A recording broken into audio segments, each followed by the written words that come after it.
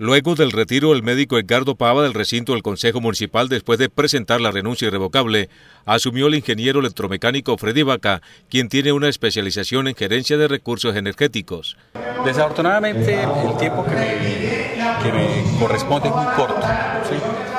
La idea en este momento es de pronto empezar a estudiar el plan de desarrollo que presentó la alcaldía, el municipio, y mirar por las secretarías, hacer un control político, si se han cumplido las expectativas y las metas de ese control político. Es algo que, nos gusta, estar en, la política, nos gusta el tema social, nos gusta estar colaborando en las comunidades y miraremos si continuamos en, este, este avatar de la política. El nuevo concejal de Ocaña, Freddy Vaca, tiene 42 años de edad, de los cuales 15 han sido dedicados a su profesión como contratista.